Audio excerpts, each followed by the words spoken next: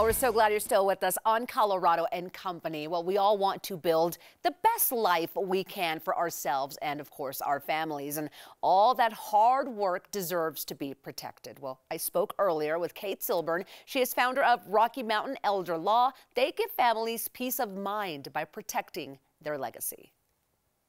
Well, it is a pleasure to welcome Kate to the studio this morning. Kate, it's good to see you. Nice to see you. Thank you for having me. Absolutely. Well, let's talk about why you are so passionate about elder law and what caused you to focus on this particular field. Well, I have an absolute passion for end of life care and end of life planning.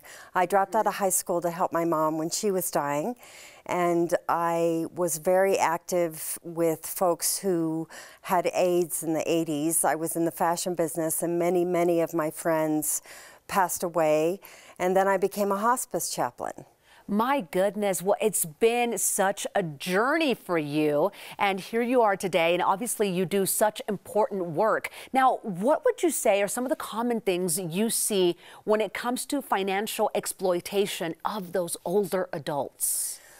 Well, I have a passion for helping at risk adults, and sadly, um, the most common element with financial exploitation is it's usually done by a family member. Mm. Um, often you find uh, someone anticipating their inheritance improperly. Um, they get the power of attorney, they put them their name on the account, and suddenly there are improper use of grandma's money or her real estate. Oh, and see, that could be a very alarming situation because once you've got that power of attorney, it's a done deal, correct? It's a done deal. Oh. Um, however, I do reverse those transactions in my work, and I okay. do I do go after the person who financially exploits at-risk adults and elderly people. Okay. Um, there's also the situation where it can be the handyman or the neighbor who gets the power of attorney and financially exploits. That is so hard to hear. And I'm so glad that you do this kind of work and you're able to reverse that kind of process. Now, what, what steps do you take to prevent that kind of financial exploitation? Well, the foundation for prevention is a good, solid estate plan. Mm -hmm. where fiduciaries, the people who are in charge that you choose, are people that you absolutely trust. Okay. And if you don't have someone you absolutely trust, then it should be uh, a third party fiduciary, a professional fiduciary company who can help you navigate the um, issues surrounding your finances when you decline.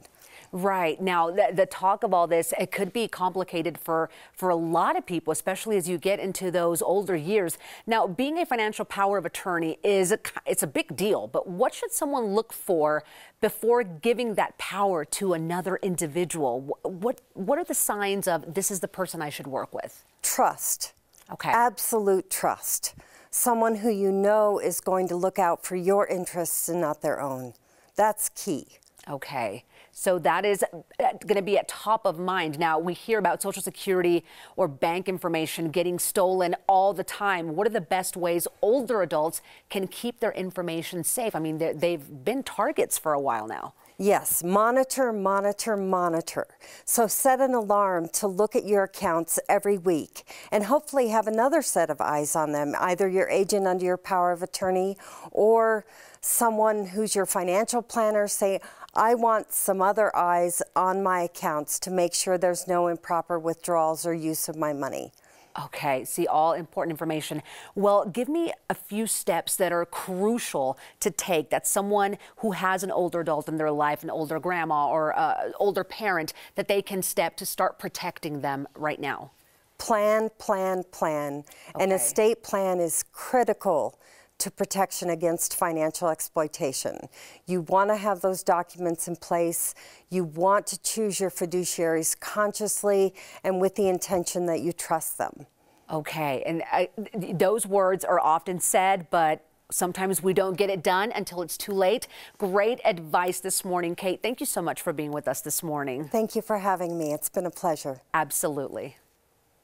And if you want to consult with Rocky Mountain Elder Law for yourself or a loved one, reach out today, 720-457-4573, or just go online, RockyMountainElderLaw.com. They sponsored today's segment.